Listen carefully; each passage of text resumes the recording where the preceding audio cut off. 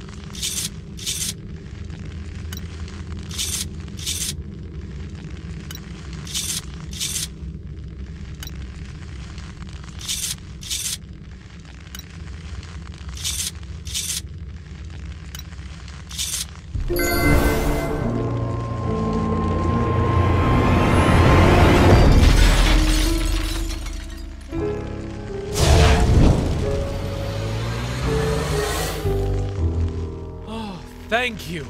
It's finally over.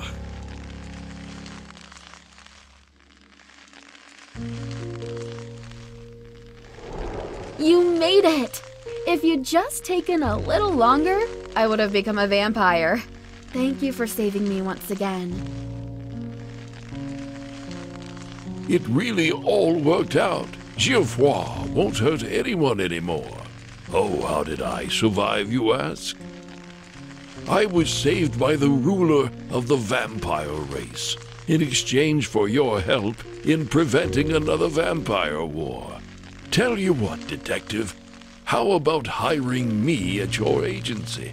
I could be useful as a forensic scientist, since I can do any kind of chemical analysis. So, do we have a deal?